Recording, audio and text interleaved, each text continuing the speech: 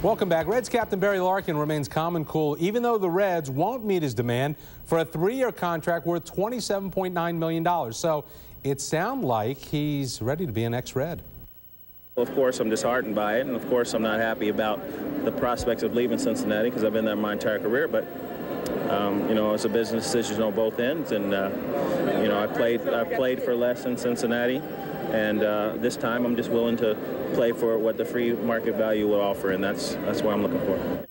So what is Barry Larkin really worth? Well, tonight the captain upped his value, breaking a scoreless tie, bangs a solo homers. The Reds go on to blank the Astros for zip. Let's go to Enron Field. Barry Larkin breaks up the pitcher's duel in the sixth, bashes his 10th home of the season over the left field wall. Reds lead it one to nothing. Now still in the sixth, bases loaded for Dmitri Young, who singles to right field. Reds go on top two to nothing. Then Chris Holt walks Juan Castro with the bases loaded. Castro is subbing for Pokey, who is nursing a tender groin. It's three zip Reds. Barry strikes again in the seventh. Sends a long fly to the ball back and right. Larkin winds up on third base and then scores on Junior's sacrifice fly. Reds four to nothing. And Pete Harnisch pitching his second straight complete game. Four hits, two walks, four strikeouts. Reds win it four to nothing. Meantime, the first place Cardinals are losing one to nothing to Arizona in the fourth. Hey, it's a short trip from Dayton to Cincinnati, but a major leap for reliever Mark Wohlers, who's back in the majors. The Reds purchased Wohlers' contract from AAA Louisville today, and Wohlers was on the Reds bench tonight. More than a year since Wohlers last pitched in a big league game for the Atlanta Braves. Reds reliever Scott Sullivan and Rockies outfielder Brian Hunter have both been suspended three games apiece for starting last Saturday's brawl in Colorado. Sullivan has appealed. He will meet with Frank Robinson in New York.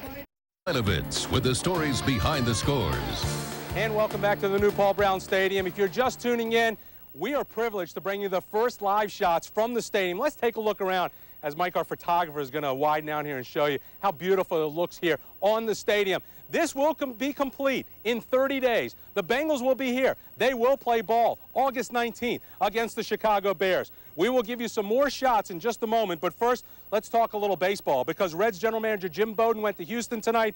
He was meeting with Barry Larkin in hopes of keeping the captain here and resolving the stalemate. However, nothing has changed. Still no contract, no trade talks for Barry, and Larkin says that he will still go the free agent route at the end of the season if nothing is worked out. So stay tuned to that. Tonight, the Reds try to sweep the Astros looking for their third straight win. Let's go to Enron Field as we pick it up with the Astros getting to Scott Williamson early. Billy Spiers back up the box, off Castro's glove. A run scores. Astros up one to nothing. Williamson is pulled after three innings. Oh, he's upset. Down two to nothing. Reliever Ron Villone enters. Gives up a bases loaded double to Mitch Meluskey to the left center field gap. Three runs come home. It's five zip. Eddie Taubensee he finally scores for the Reds. Brings home Dmitri Young. That makes it five to one. Richard Hidalgo home run off Scott Winchester. Six to one now. Astros in the fifth. Top of the seventh. Barry Larkin. Yeah, the captain's still doing it. Home run last night. Ground rule double tonight. Bounces over the wall. Castro scores. Astros six to two. Good news. Mark Wohlers enters the seventh.